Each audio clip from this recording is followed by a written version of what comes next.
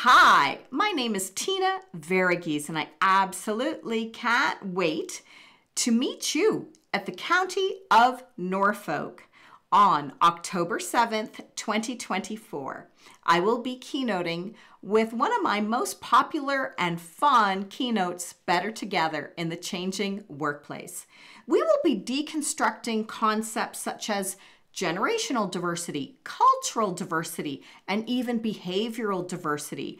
We're going to learn how to mitigate some of those challenges and embrace some of those opportunities so that we can all become better, more inclusive, business leaders in this space. Now, I don't define leader by title, rank, or position, but rather by those that can influence, inspire, and impact, which is everybody choosing to join me on October 7th at the County of Norfolk, a place, to be honest, I haven't even visited, one of those beautiful places in Canada that I get an opportunity to go to. I can't wait to meet you then.